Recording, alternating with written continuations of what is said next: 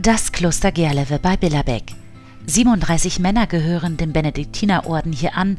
Einer von ihnen ist Pater Ralf Kreis.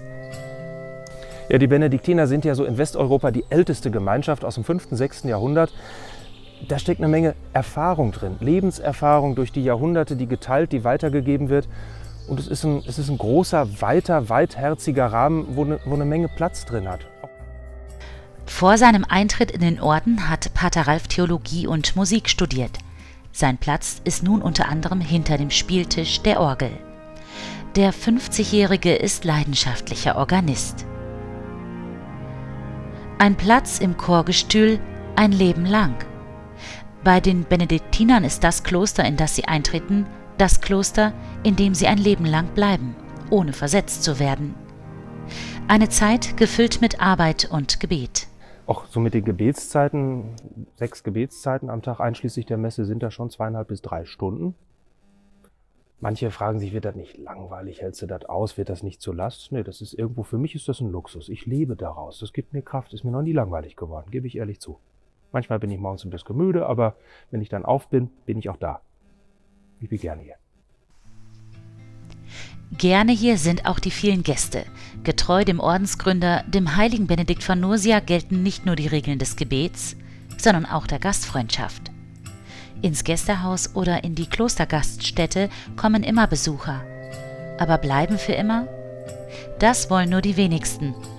Treten überhaupt noch Männer in den Orden ein? Eintreten relativ wenig, eigentlich nein, gar keiner, sagen wir es ehrlich, leider. Aber über die letzten Jahre, ich habe immer wieder Interessenten gehabt, die kommen, die sich melden, die schreiben, die anrufen, die vorbeikommen, die ein paar Tage da sind, sich interessieren. Und das heißt eigentlich schon, dass die irgendwo was gehört haben, dass Gott zu ihnen gesprochen hat. Und ja, wenn wir an das Konzept von Berufung noch glauben, dann traue ich denen und traue Gott selber zu, dass er Menschen beruft und die kommen am Ende traut sich nur tatsächlich keiner einzutreten und es mal zu riskieren, ob es das sein könnte. Das ist, ist natürlich schade. Pater Ralf gehört zu denen, die es riskiert haben. Er hat es nicht bereut, zumal es hier viele Freiheiten gibt, die man so vielleicht nicht erwartet. Liturgie ist ja Gottesdienst in dem Sinne, dass es Gottesdienst an uns ist. Und wir geben dem Herrgott Raum, dass er was für uns tun kann. Und da darf ich mich jeden Tag drüber freuen. Das habe ich sehr gerne. Und ansonsten passt da alles rein, von wissenschaftlicher Theologie über Musik, das sind so meine beiden Fächer, ganz ehrlich gesprochen, bis hin zur Landwirtschaft haben wir leider nicht mehr, aber im Garten arbeiten, Exerzitienkurse in unser Exerzitienhaus geben.